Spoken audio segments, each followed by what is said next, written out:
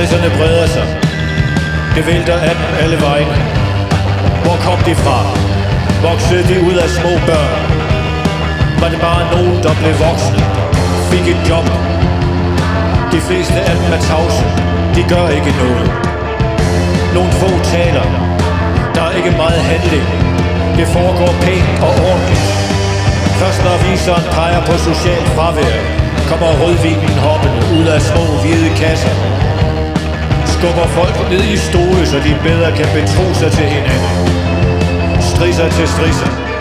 Top secrets, top show whispering. Alverdens funk staver igen og igen til pension.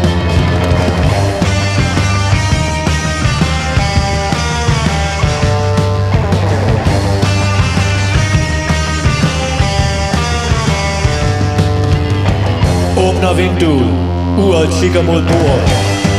Rørende goler, en taxa starter i shop. Kaptajnen forlader skuden. Blodhunden venter næste hjørne af filmen. Byen er skudt helt i smadret. Snaps vælter ud af ørerne. Ren æstetik. Huller, huller. Forbudt.